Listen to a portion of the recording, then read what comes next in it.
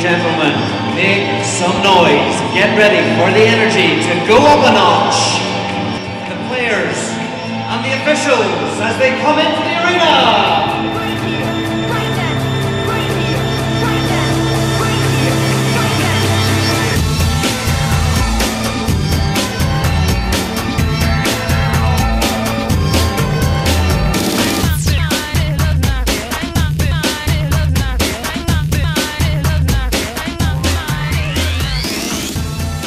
Been an exciting competition so far at the table tennis at the Pro Tour Grand Final. The Olympics will be also held here at Excel at the same venue. And so this is our testing opportunity prior to the Olympics next year and it's our best opportunity to invite the players, the best players in the world, to come along and, and use the facilities. For the test event, what we're doing is we're testing the sport operation, um, so the field of play. We're testing the technology, so the results, the timing, the scoring systems, and also we're uh, involving a lot of the volunteers.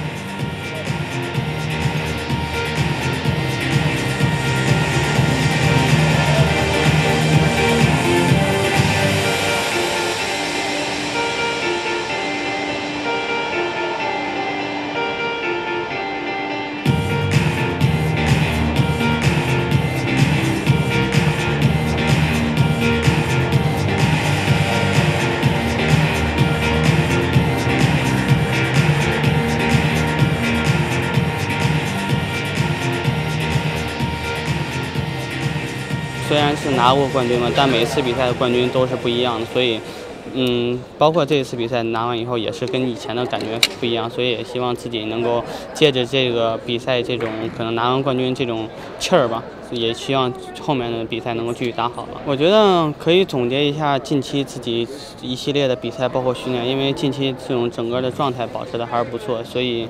可能也是这种要通过冬训吧，可能也需要总结一下，来为明年那种奥运会做准备吧。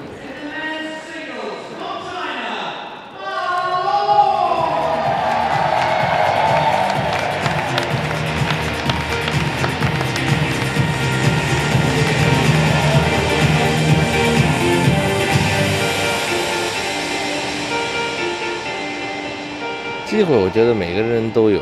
而且中国队确实具备了很多超一流的这种运动员。至于谁能够参赛，现在这个还定不下来，因为为时尚早。呃，随着他们自己在各种比赛当中的表现吧，临近比赛的时候肯定会做出这个最后的这种选择。